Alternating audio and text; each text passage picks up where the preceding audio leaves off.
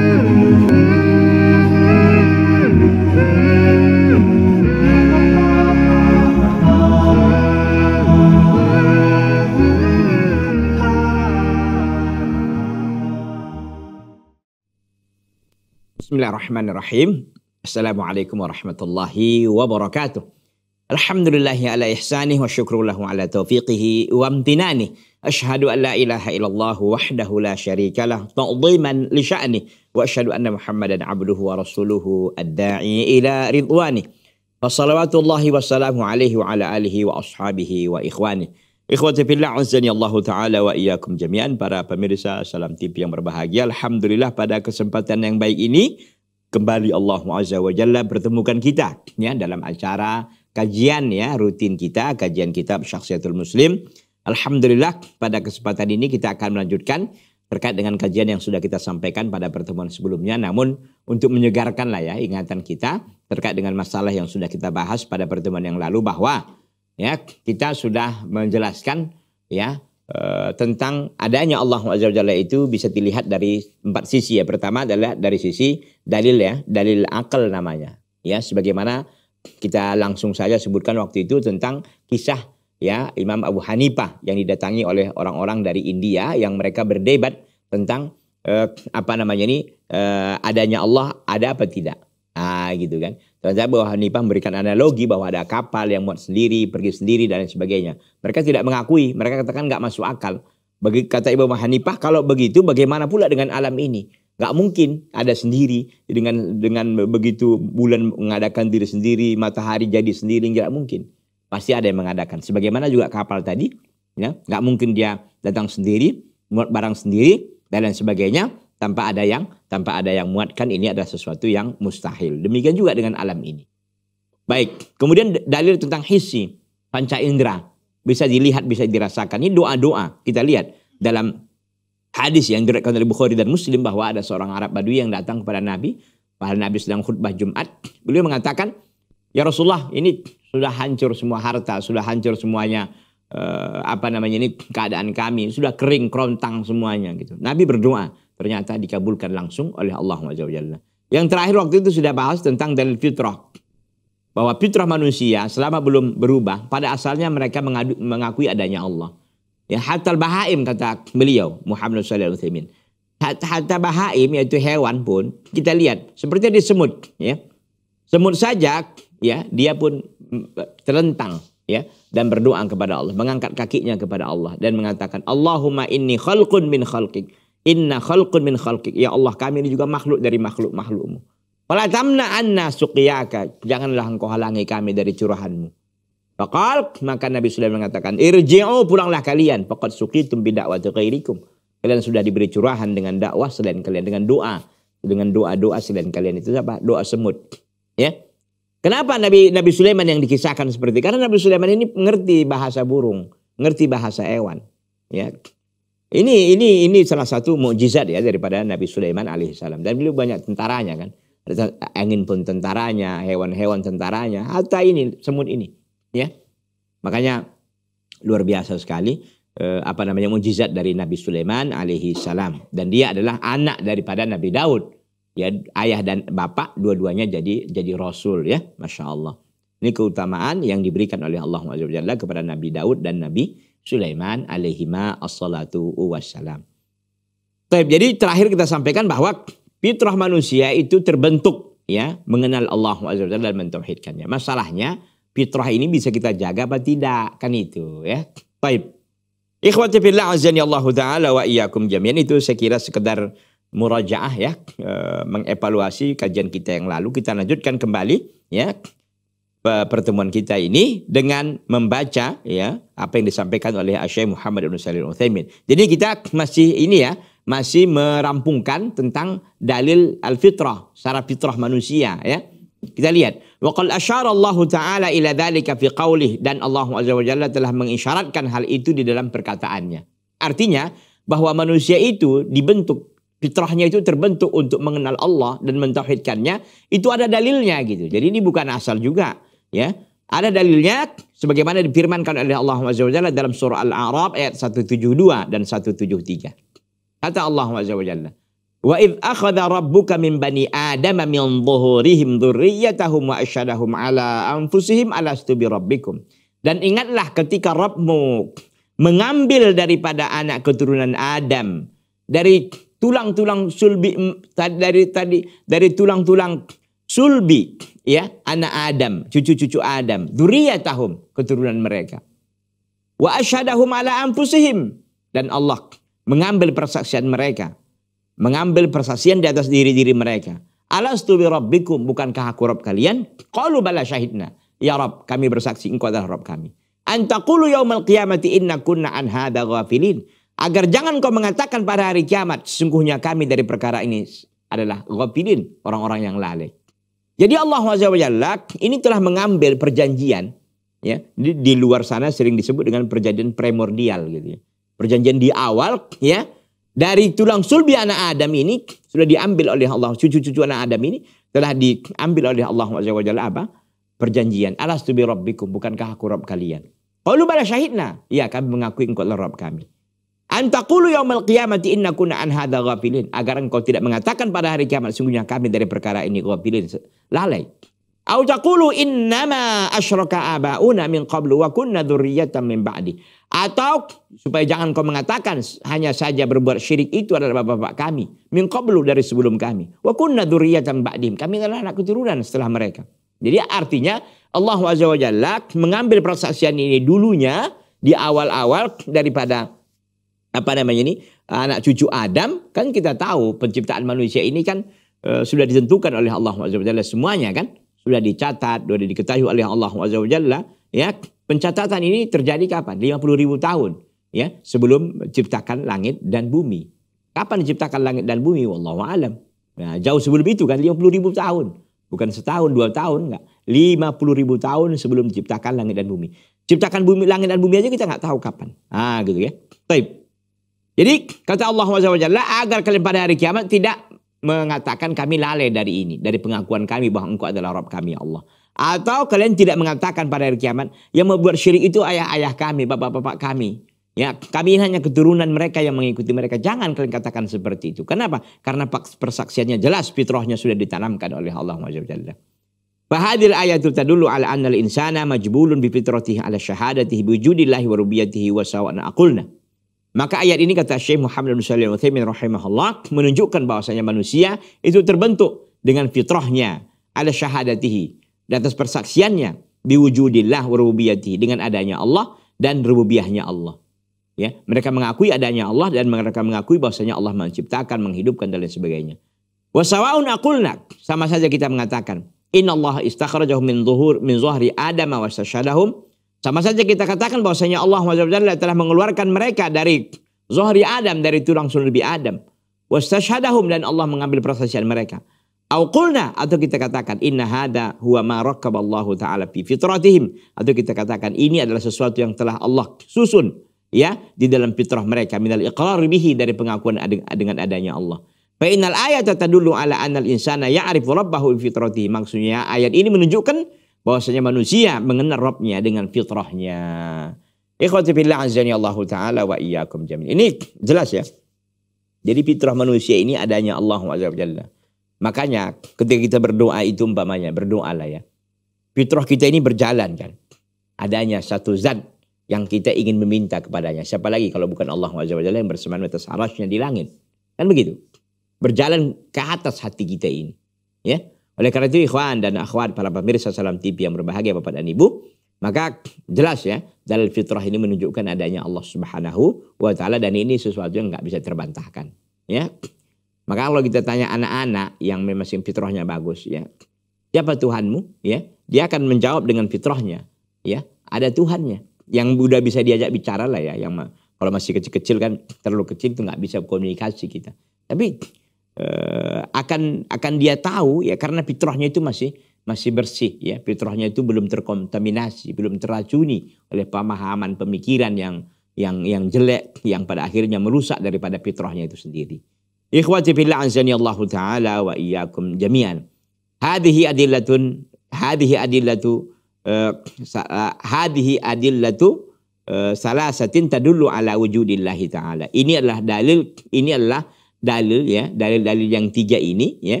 Hadhihi adillatun salah, salah satun tadullu ala wujudillah. Ini adalah dalil yang tiga ini menunjukkan adanya Allah Azza wa. Apa yang tiga ini maksudnya? Dalil akal, dalil hissi, dan dalil fitrah. Kan ini yang, yang tiga ini yang kita sebutkan. Menunjukkan semuanya adanya Allah kan. Dalil akalnya, dalil dalil uh, hissinya, dan dalil fitrahnya. Kita lihat dari berikutnya.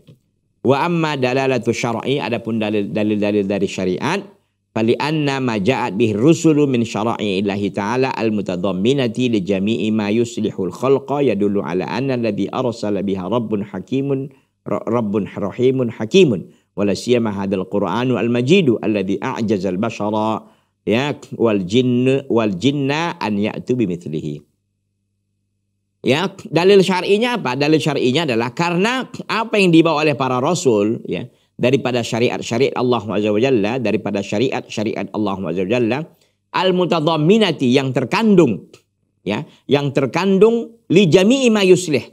Yang terkandung terhadap semua apa yang ya memperbaiki apa yang yang terkandung semuanya terhadap apa yang bisa memperbaiki makhluk ya Semuanya syariat ini kan mengandung kebaikan kepada makhluk. Dan ingat, semua syariat Allah itu kebaikan isinya, nggak ada keburukan. Syariat Allah, syariat Rasulullah SAW yang telah dibawakan, ya, syariat Allah yang telah jelaskan oleh Rasulnya itu semuanya kebaikan. Nggak ada keburukannya sedikit pun. Semuanya ada kebaikan. Ya, jadi katakan syariat-syariat Allah ini yang terkandung semuanya sesuatu yang yuslihul khalqa yang memperbaiki makhluk ini. Semua syariat Allah ini kebaikan bagi manusia. Ya dulu ala anna alladhi arsala biha rabbun rabbun haki, rahimun hakimun. Ini menunjukkan bahwa yang mengutus mereka itu adalah Rabb yang rahim yang maha penyayang, hakimun yang maha bijaksana. Nggak mungkin kan? Syariat para rasul, mana syariat? Contoh syariat Nabi Muhammad SAW. Adakah syariat Nabi Muhammad SAW yang merugikan manusia? Yang membuat manusia jadi jadi susah? Yang membuat manusia jadi jadi kepayahan, menjadi kesulitan? Tidak ada. Ya meskipun kadang-kadang melaksanakannya kita merasa susah, merasa apa itu karena doa pilih iman. Ya. Padahal orang-orang beriman justru berlezat dengan beribadah kepada Allah. Mereka mencari ibadah itu kepada Allah. Kenapa? Karena mereka menemukan kelezatan yang sesungguhnya dalam beribadah kepada Allahu Azza wa Jalla. Ya. Ikhwati billah azani Allah Ta'ala wa iyyakum jami'an. Nanti kita lanjutkan selang satu ini. Jangan ke mana-mana ya. Tetap di Salam TV, sahabat keluarga muslim.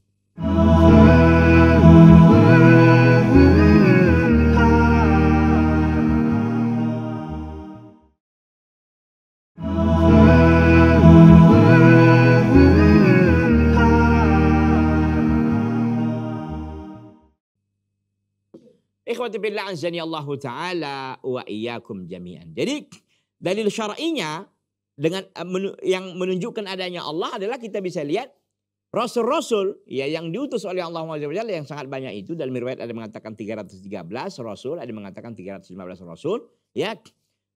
Rasul-rasul yang membawa syariat-syariat Allah SWT yang mengandung ya, yang telah memuat, yang include di dalamnya semua ya yang dibutuhkan oleh manusia, oleh makhluk untuk kemaslahatan mereka ini.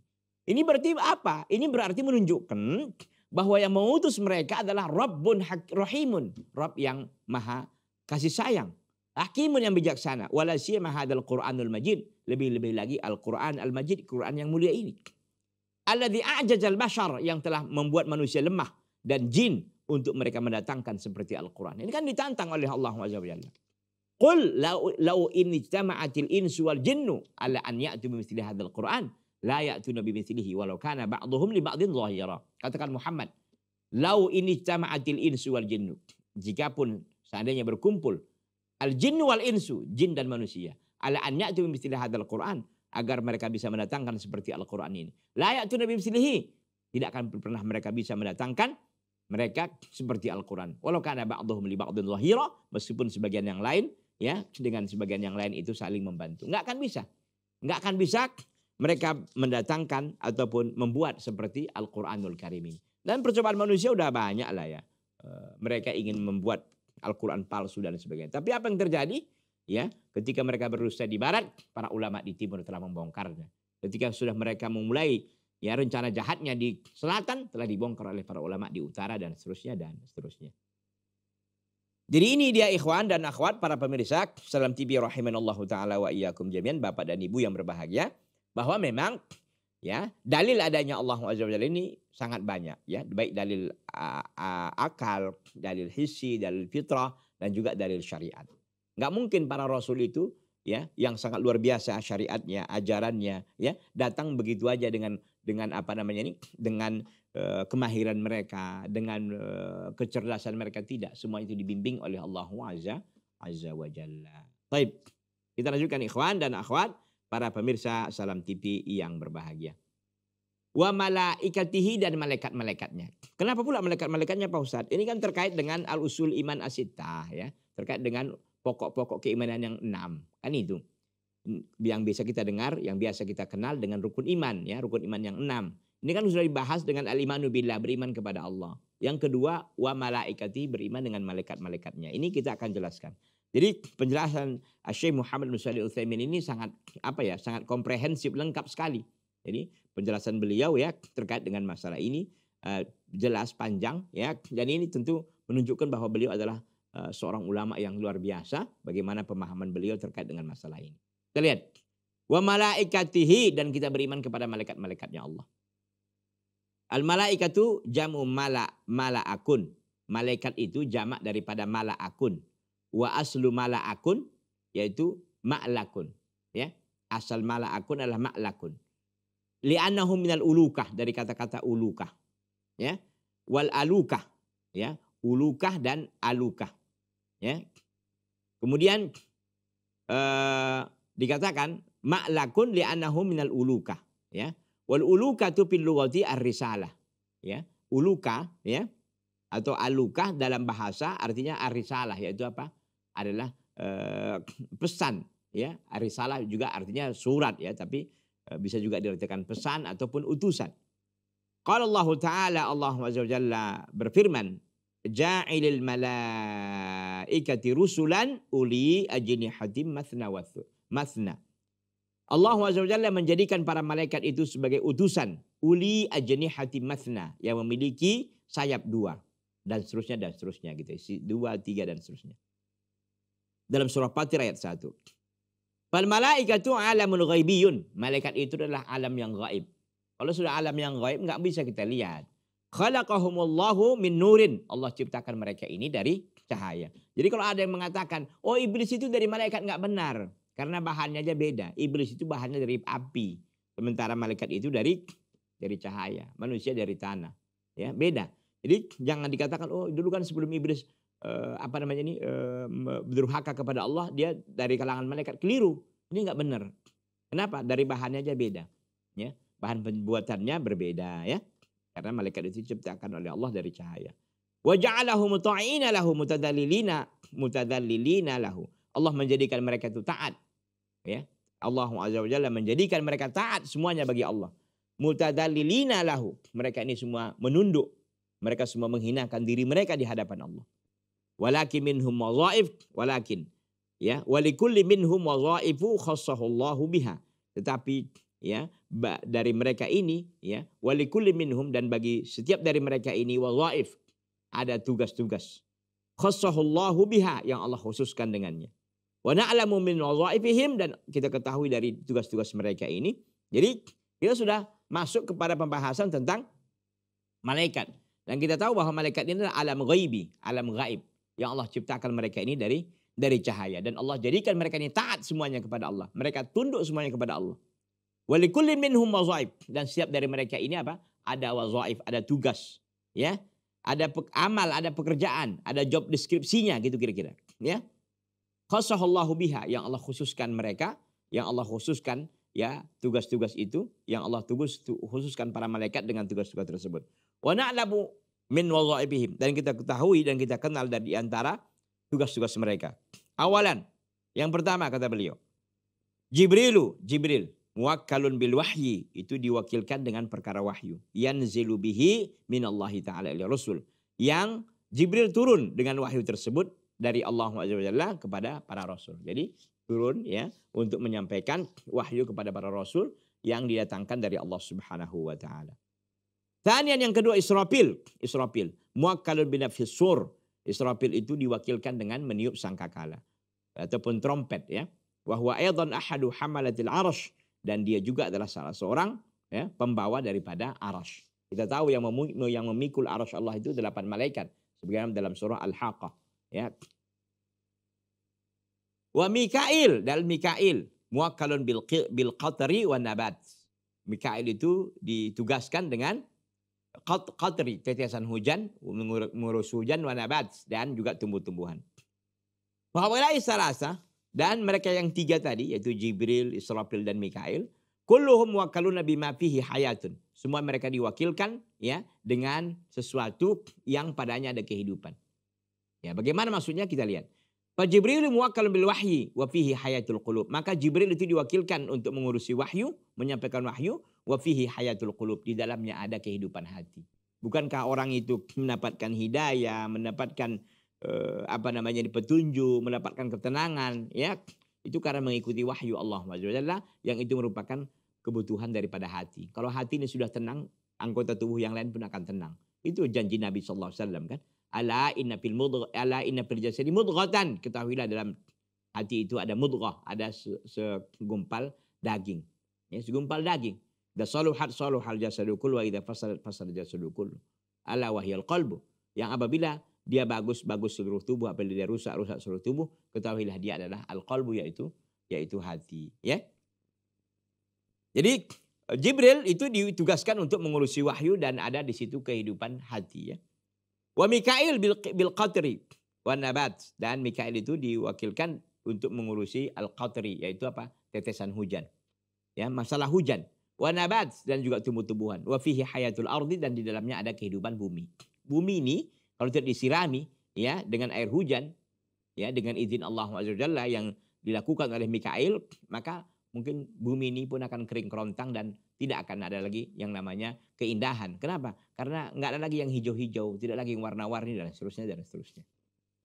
Wa Israfil, Israfil yang binafhi sur, ya. Israfil itu ditugaskan untuk meniup ya trompet atau sangkakala. Wa fihi jahayatul ajsad yaumal ma'ad dan di situ ada kehidupan jasad-jasad yaumal ma'ad pada hari kiamat. Bukankah manusia ketika ditompret yang pertama akan meninggal semuanya? Kemudian eh, tiupan yang kedua membuat manusia bangkit dari alam kuburnya seperti cendawan yang tumbuh di masa hujan. Ya, baik. Jadi jelas ya bahwa Jibril ditugaskan dengan wahyu ada kehidupan hati di sana. Kemudian Mikael di, di, di, ditugaskan untuk mengurusi hujan dan tumbuh-tumbuhan ada kehidupan bumi di sana. Kemudian Israfil ya ditugaskan untuk meniupkan roh yang ada di dalamnya kehidupan hayatul ajasad, kehidupan jasad di hari uh, kiamat. Walihada oleh karena itu karena Nabi sallallahu alaihi wasallam yatawassalu bi lahum. Oleh karena itu Nabi sallallahu alaihi wasallam pun bertawasul dengan rububiyah Allah lahum untuk mereka. Fi doa istiftah ya. Dalam doa istiftah beliau fi salatil lail di salat malamnya. Artinya beliau pun bertawasul dengan rububiyah Allah ya, dengan rububiyah Allah lahum bagi mereka, mereka malaikat tadi. Dalam doa istiftah doa iftitah ya Rasulullah Wasallam kapan di lail di sholat malam. Kita lihat. Fayaqul lalu Nabi SAW mengatakan di dalam doa iftitahnya waktu sholat malam. Allahumma Rabba Jibril. Ya, ya Allah. Rabb Jibril, Tuhannya Jibril. Wa Mikaila dan Tuhannya Mikail. Wa Israfila dan Tuhannya Israfil. Ah gitu kan. Jadi bertawasul dia Nabi SAW bertawasul dengan rububiyahnya Allah dengan menyebutkan Rabb Jibril, Rabb Mikail, Rabb Ismail, ya Rabb Israfil. Fatir samawati wal ard. Fatir samawati wal ard. Yang maha menciptakan langit-langit dan bumi. Alim al-ghaibi wa syahadah. Yang mengenal, yang mengetahui tentang yang ghaib. Ya, wa syahadah. Yang al-ghaib yaitu sesuatu yang tidak terlihat. Wa syahadah dan yang dilihat. Anta tahkumu baina ibadika engkau memberikan keputusan terhadap di antara hamba-hambamu. Di makanu fihi yakhtalifun dalam perkara yang mereka itu berselisih. Ihdini lima ukhtilifa fihi. Ya, tunjukilah aku terhadap apa yang diperselisihkan di dalamnya. Minal haqqi daripada kebenaran. Biiznika dengan izinmu. Inna katahdi mantasya. Sungguhnya engkau memberikan petunjuk siapa yang kau kehendaki ila sirati mustaqim kepada jalan yang lurus. Hada dua alladhi kana yaquluhu fi qiyamil mutawassilan birubiyatillahi lahum. Inilah doa yang beliau ucapkan di qiyamul lailnya di salat malamnya mutawassilan yang beliau bertawassul birubiyatillahi lahum dengan rubiyah Allah kepada eh, bagi mereka apa? Bagi mereka Israfil dan Mikail ya. Dan juga Jibril tentunya. Jadi di sini menunjukkan apa? Menunjukkan bahwa Nabi SAW ini berdoa ya.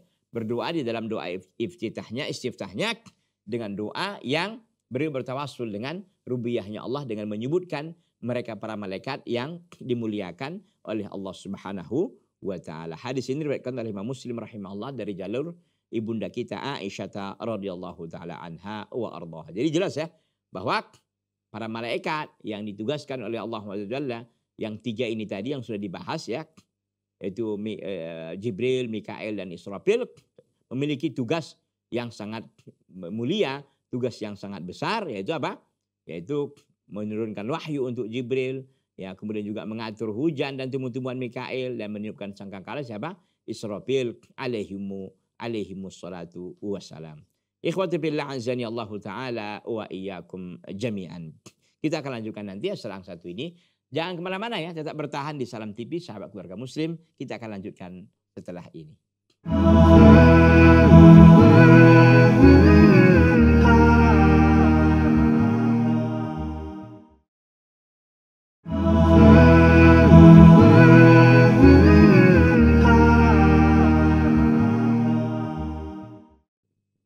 Ikhwati fillah azani Allah Ta'ala wa iyyakum jami'an para pemirsa Salam TV yang berbahagia. Jadi jelas tadi kita sampaikan bahwa memang Nabi SAW pun bertawassul dengan rububiyahnya Allah dengan menyebut para malaikat yang dimuliakan oleh Allah tadi. Ada Jibril, ada Mikail, ada Israfil ya. Jadi doa beliau Allahumma rabba Jibril wa Mikail wa Israfil fatiras samawati wal ar al ghaibi wa syahada anta tahkum ya anta tahkumu baina ibadika fi makanu fihi yakhtalifun ihdini lima ikhtulifa fihi minal haqqi bi'ithnik innaka tahdi man tasha'u ila siratim mustaqim. Ya. Allahumma rabba Jibril. Ya Allah, engkau adalah Rabb Jibril, ya. Mikail dan Israfil, fatiras samawati wal ard. Engkau adalah yang maha menciptakan langit dan bumi. Alimal ghaibi wa syahada. Mengetahui yang gaib dan yang nampak. Ya. Entah tahkumu baina ibadik. Engkau memberikan keputusanmu, ketetapanmu di antara para hambamu. Bima kanu pihak talipun. Terkait yang apa mereka persisihkan. Ihdini Tunjukilah aku ya Allah. Kata Nabi Muhammad SAW. Lima fihi terhadap apa yang mereka terhadap apa yang dipresisikan padanya. Minal haqqi daripada kebenaran biiznika dengan izinmu. Inna tahdi man tasha'u ila sirati mustaqim. Sungguhnya engkau memberi petunjuk siapa saja yang kau kehendaki daripada ke jalan yang ke jalan yang lurus. Ya. Ini beliau sering baca doa ini, doa iftitah ini atau istiftah ini di sholat malam beliau Sallallahu Alaihi Wasallam. Dan kita tahu bahwa Nabi Muhammad Sallallahu Alaihi Wasallam yang, sudah dijamin masuk surga yang diampunkan dosa yang telah lalu dan yang akan datang itu tetap saja melakukan kamulil sampai pun kakinya kakinya itu bengkak. Bahkan di bunda Aisyah mengatakan ataf alu ada ataf alu hada ya Rasulullah wa qad ghufirallah kama taqala min dambik ya Rasulullah ya engkau lakukan ini padahal dosamu sudah diampunkan apa yang telah mataqalla wa mata'akhir apa yang lalu dan yang akan datang Qal afala akunu abdan syakura. Wahai Aisyah, apakah aku tidak ap, apakah aku tidak mau ya menjadi seorang hamba yang bersyukur sebagaimana Allah Azza telah memuji Nuh alaihi salam ya wa kana abdan syakura ya bahwa Nabi Nuh adalah seorang yang adalah dia abdan syakura yaitu seorang hamba yang pandai bersyukur. Ikhwati fillah azani Allah taala wa iyyakum jami'an. Kita lanjutkan. Wa kadzalika na'lamu anna minhum man wukila biqabdi arwahi bani Adam di antara mereka mereka para malaikat kita ketahui dan kita kenal ya ada yang diwakilkan untuk mencabut arwah ruh-ruh anak Adam. Au biqabdi ruhin kulladhi ruhin atau untuk mencabut semua ruh ya atau mencabut setiap ruh yang memiliki ruh. Banyak kan manusia apa makhluk ini punya ruh ya ada hewan ya ada manusia ada ada jin ya apalagi coba ya uh, ada lagi uh, uh, tumbuh tumbuh-tumbuhan mungkin ruhnya nggak ada kan nggak seperti ruh manusia dan uh, jin ataupun hewan-hewan burung-burung dan lain sebagainya intinya yang punya ruh itu ada malaikat yang mencabutnya. Wahum malakul maut. Mereka adalah malaikat maut. Wa'awanuhu dan pembantu-pembantunya. Jadi eh, penjelasan para ulama, malaikat ini ada kadang-kadang dia sendiri. Ada kadang-kadang nama kelompok. Ah, ini kan kalau malaikat maut ini jenis ini. Jenis malaikat maut. ya. Jadi ada dia kelompok ini, malaikat maut. Tapi ada pemimpinnya, namanya malaikat maut. Ah, gitu. Tapi rombongannya ada, orang-orang apa malaikat yang bersama dia ada. Wala yusama Israel li'annahu lam yathbut ani Nabi sallallahu alaihi wasallam. Dan tidak dinamakan dia malaikat maut itu Israel. Kenapa? Karena tidak tetap, belum ada ya dari Nabi sallallahu alaihi wasallam anna ismahu hada bahwa inilah namanya. Orang kadang-kadang mendengar karena ada nyanyinya Pak Ustaz, bila Israel datang memanggil jasad terbujur ya di pembaringan. Itu soal lain lah kalau nyanyi yang seperti itu ataupun syair yang itu kan. Tapi yang jelas penamaan ini nggak bisa kita sembarangan nggak boleh ngasal ya. Jadi kita harus pakai dalil. Ada nggak dalilnya? Kalau nggak ada ya udah. Walaupun ada syair yang mengatakan bila Israel itu soal lain, ya syair bukan dalil gitu lah kira-kira ya. Jadi itu bukan dalil. Yang dalil itu kalau Allah, kalau Rasulullah. Kalau nggak ada Rasulullah nyampaikan ini perkara goib, nggak bisa. Kita hanya menyebutnya sebagaimana Allah telah tegaskan atau Rasulullah SAW tegaskan. Hanya malakal maut, malaikat maut, udah. Ah gitu. Namanya siapa Pak Ustadz? Wallahu alam. Karena tidak ada riwayatnya dari Nabi Shallallahu Alaihi Wasallam. Atau dalam Al-Quran tidak disebut juga. Hatta idza ja qala Allah taala Allah azza wa jalla berfirman hatta idza jaa ahadakumul maut tawaffat surusuluna wa hum la yufarritun sehingga apabila datang kepada salah seorang kalian kematian ajalnya tawaffat surusuluna utusan-utusan kami pun mewafatkannya wa hum la yufarritun dan mereka ini tidak berlebih-lebihan artinya sesuai dengan perintah Allah jalla ya sesuai dengan perintah Allah Subhanahu wa taala. Wa qala ta'ala dan Allah berfirman, "Qul yatawaffakum malakul mautil ladzi wukila bikum." Katakan Muhammad, ya, yatawaffakum malakul maut akan diwafatkan. Kalian akan diwafatkan oleh malaikat maut alladzi wukila bikum yang diwakilkan kepada kalian. Dalam surah As-Sajdah ayat yang 11. Yang tadi dalam surah Al-An'am ayat 61. Wa qala ta'ala dan Allah berfirman berikutnya. Allahu yatawaffal anfusa hina mautiha dan Allah lah yang menggenggam jiwa ya yang memegang ruh hina mautiha ketika sudah matinya. Jadi dalil juga menunjukkan Az-Zumar 42 menunjukkan bahwa nggak ada ruh itu gentayangan, nggak ada. Kalau ada yang gentayangan itu jin yang ngaku-ngaku ruh. Jadi kita ini selama ini tertipu ya. Jangan ikuti itu bangsa jin itu. Yang ada orang tiba-tiba masuk kemasukan ya. Masukan roh jin dia mengatakan ini roh roh kakeknya. Nggak ada cerita kakek kakek. Itu kakek rohnya di, di genggaman Allah Taala nggak boleh sembarangan pulang-pulang ke rumah ke mana. Enak kali kalau kayak gitu. Nggak ada. Itu jin nokoh-nokoh bacakan ayat Al-Quran biar lari dia biar dia terbakar ya. Mohon perlindungan kepada Allah ya. Baca ruqyah syar'iyah dia biar hilang jinnya itu bukan bukan justru di di perli bukan justru di di, ditanyai, ya, di, dilayani, mau apa ya kayak mau perlu apa? Oh jin naik naik ke kepala dia. Dia bilang, oh saya mau ayam hitam, hitam semuanya ayamnya. Saya mau putih, putih semua ayamnya. gitu. Jadi supaya orang yakin bahwa ada minta-minta ini dia itu. Jin itu ya. Jangan dipercaya hal seperti itu ya. Baik. Ini dalam surah Zumar ayat 42 tadi.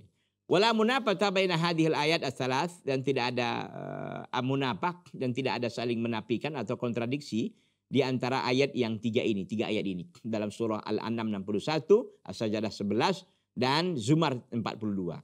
Nggak ada menapinya, jadi tidak ada kontradiksinya antara tiga ayat yang disebutkan dari tiga surah yang berbeda ini. Bagaimana itu? Kalau kita lihat dalam surah Al-An'am yang tadi kan, hatta idza jaa ahadahumul maut. Sehingga apabila datang kepada salah seorang kalian kematian, tawafat surusuluna, maka Rasul kami pun ya utusan kami pun mewafatkannya. Wahum layu faratun mereka tidak melampaui batas. Kan itu? Ahadukumul maut tawafat hurusuluna ini rasul kami. Allah SWT katakan rasul kami. Yaitu siapa rasul kami? Malaikat. Baik. Itu dalam surah Al-An'am 61 kemudian di dalam surah As-Sajdah Allah sebut namanya. Ya. Apa? Qul yatawaffakum malakul mautil ladzi wukila bikum. Ya. Katakan oleh Muhammad kalian diwafatkan oleh malaikat maut yang diwakilkan kepada kalian. Yang diwakilkan kepada kalian. Berarti di sini Allah SWT kalau di ayat uh, Al-An'am itu rusuluna kata Allah. Kalau dalam surah As-Sajadah ini kata Allah malakul maut. Ah kan begitu. Ya. Baik. Wa qala ta'ala dan Allah berfirman dalam surah Az-Zumar yatawaffakumul anfus hina mautiha. Allah lah. Allahu yatawaffal anfusa hina mautiha. Allah yang ya mewafatkan satu jiwa artinya yang menggenggam jiwa ketika dia sudah matinya. Dalam surah uh, apa namanya Zumar 42. Jadi di antara ayat ini meskipun mungkin uh, uh, lafaznya, redaksinya berbeda tapi ini tidak bertentangan satu dengan yang lain. Bagaimana? Ini kita lihat penjelasan Syekh Muhammad bin Saleh Al-Utsaimin rahimahullah rahmatan wasiatan. Fa malaikata taqbidur ruh. Malaikat itu yang mencabut ruh. Baik. Fa inna malakal maut idza akhrajaha minal badan takunu indahu malaikah. Maka sungguhnya malaikat maut ketika dia telah mengeluarkan ruh itu dari badan ada di sisi di sisi malaikat maut itu ada sejumlah malaikat juga.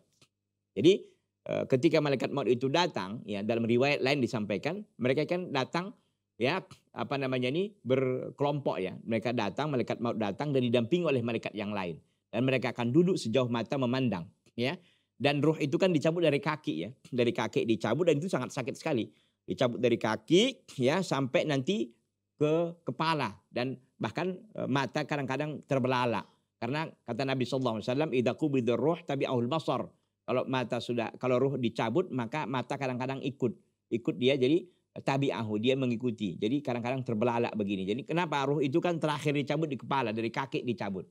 Ya, rohnya orang beriman dikatakan itu seperti air yang mengalir dari dari bejana ataupun dari ceret itu. Kalau kita nuangkan air apalagi airnya penuh, enak kan? Nggak perlu kita tunggingkan gini kan. Santai aja udah keluar airnya, enak gitu ya. Nah, itu rohnya orang beriman ya. Baik. Nasallahu al-afiyah. Ya, kita mohon kepada Allah kemaafan dan agar kita dicabut ruh kita dengan penuh kasih sayang. Ya, jadi malaikat maut akan datang ketika dia sudah mengeluarkan ruh itu dari badan. Di sisinya ternyata ada malaikat lain yang mendampingi dia tadi. Ya, Ingkana rojulu min ahlil jannah. jika dia adalah laki-laki ini merupakan penduduk sorga. Fayakunu ma'ahum hanutun minal jannah. Maka bersama mereka, mereka malaikat ini ada hanut minal jannah. Ada wangian dari sorga. Wa kafnun minal jannah, ada kapan dari sorga. Jadi ketika mereka ingin tiba ajalnya, contoh ajal si Polan ini umpamanya hari Ahad ya tanggal sekian jam sekian umpamanya. Hari Ahad jam satu siang, jam 13. Jam satu siang lewat dua menit umpamanya ya. Mereka ya sebelum apa namanya ini sebelum waktu tiba mereka sudah datang. Karena kan kata Allah nggak boleh diakhirkan, nggak boleh dilambatkan ajal itu tiba kan. Nah mereka akan datang Ya, ketika dia orang-orang beriman memang datang dan bersama mereka ada hanut. Ada wangian dari sorga dan kapan yang dibawa mereka dari sorga juga. Allahu Akbar. Ini pemuliaan mereka ini kepada orang beriman ini. Ya khuduna hadar ruh hadih ruh at Mereka mengambil ruh yang yang sangat bagus ini. Wa yaj'alunaha fi kafa fi hadal kapan dan mereka menjadikannya di kapan ini. Wa yas'aduna biha ilallah dan mereka naik dengan ruh itu kepada Allah Subhanahu wa taala. Jadi ceritanya begini. Jadi seorang beriman ketika ajalan sudah tiba, tadi jam sekian, hari sekian gitu kan. Malaikat maut itu mencabut ruhnya. Kalau dia orang beriman kan dicabut dari kaki ya. Ditarik sampai ke kepala. Nah ketika roh itu sudah keluar maka ditaruhlah di apa tadi di kapan yang sudah diberi wangian tadi hanut dari sorga tadi. Lalu para malaikat yang ada di mendampingi malaikat maut ini langsung mereka ini pergi ke langit, ya, naik kepada Allah SWT. Dan ini juga dalil menunjukkan Allah itu di atas gitu. Kalau enggak ngapain mereka naik gitu ya. Hatta taqifa baina yadillah, baina yadayillah sehingga mereka berdiri di hadapan Allah, sehingga ruh itu berdiri di hadapan Allah. Tumayakul, kemudian Allah mengatakan, "Uktubu kitab abdi fi Tulislah ya Tulislah kitab abdi, catatan hamba aku ini fi'iliyin di tempat yang tinggi. Wa aiduhu ilal ar, kembalikan ruh ini ke bumi. Fatarji'ur ruh ilal jasad, maka ruh itu pun kembali ke jasad. Min ajli ikhtibar, untuk diuji. Jadi ceritanya bahwa ketika ruh itu sudah dicabut oleh malaikat maut, dan kita tahu malaikat maut itu ada bersamanya pembantu-pembantunya, ya teman-temannya begitu kan. Ini Roh ini ditaruh di hanut tadi, ditaruh di kapan dari sorga yang sudah diberi bau wangian, lalu diangkat ke langit untuk bertemu kepada Allah. Lalu itu berada di hadapan Allah. Lalu kata Allah kepada para malaikatnya, tulislah, ya, tetapkanlah, tulislah tul, uh, kitab amdi catatan hambaku ini di iliyin, ya tempat yang tinggi. Wa ard, kembalikan dia ke bumi. Fatarji ruh ila jasad min ajli ikhtibar. Ruh itu pun kembali ke jasad. Jasad di mana? Di kuburan kan? Kan di situ. Untuk apa? Min ajli ikhtibar. Untuk diuji. Apa ujiannya? Malaikat maut datang lagi malaikat lain. Malaikat maut kan sudah selesai tugasnya. Ini malaikat lain yang datangnya itu malaikat mungkar wa nakir. Ya. Man rabbuka wa madinuka wa man nabiyuka. Siapa Rabbmu? Ya, dan apa agamamu? Dan siapa nabimu? Ah, pertanyaan ini barangkali kita akan lanjutkan ya pada pertemuan yang akan datang ya. Kita tahan saja di sini supaya juga unsur penasarannya banyak gitu ya. Supaya nanti para pemirsa masih setia ya mengikuti kajian kitab syarah aqidah al-wasatiyah yang disampaikan oleh Syekh Muhammad bin Shalih Utsaimin. Mudah-mudahan apa yang saya sampaikan tadi bermanfaat ya. Hada wa sallallahu wasallam wa baraka ala nabiyina Muhammadin wa ala alihi wa sahbihi wasallam. Subhanaka Allahumma bihamdika asyhadu an la ilaha illa anta astaghfiruka wa atubu ilaika. Wassalamualaikum warahmatullahi wabarakatuh.